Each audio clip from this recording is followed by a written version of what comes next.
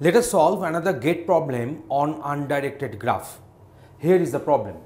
Let G be a complete undirected graph with 6 vertices. Let G be is labeled the number of distinct cycles of length 4 in G. That means they are asking for number of distinct cycles. The graph is labeled and complete. So, number of distinct cycles of length 4 that means using 4 edges the cycles have to be made. And the count will be we are having 4 options. The number of distinct cycles with length 4. So, you see we are having this one with the 6 number of edges. We are having this 6 6 vertices. Okay we are having 6 vertices. So, out of these 6 vertices if I am to select this particular 4 vertices then the combination will be 6C4 and if you go on calculating 6, 6C4 it is nothing but 15. Okay, now the cyclic combination of n objects if it is in the cyclic combination it is n minus 1 factorial. So, here we are having cyclic combination of 4 objects. So, here it we will be having 4 minus 1 factorial that is 3 factorial and that is 6.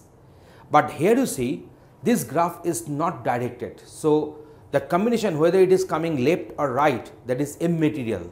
So, the number of combinations we will be getting here is 6 by 2 is equal to 3.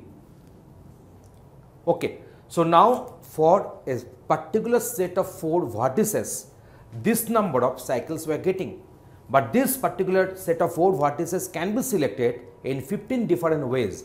So, my answer will be going to 15 into 3 and that is 45. I think you are getting this idea. So 6C4 is equal to 15. So for the combination of n objects arranged in a cyclic order is n minus 1 factorial. Here the value of n is equal to 4. So that's why it is 6. 3 factorial means 6. But you see here the graph is not directed graph, it is undirected graph. So its ordering is not important. So that's why you will be getting 6 by 2 is equal to 3 and now we will be having this 15 number of ways in which in which 4 vertices can be selected from 6 vertices. So, 15 into 3 is equal to 45. So, I shall be going with option number C.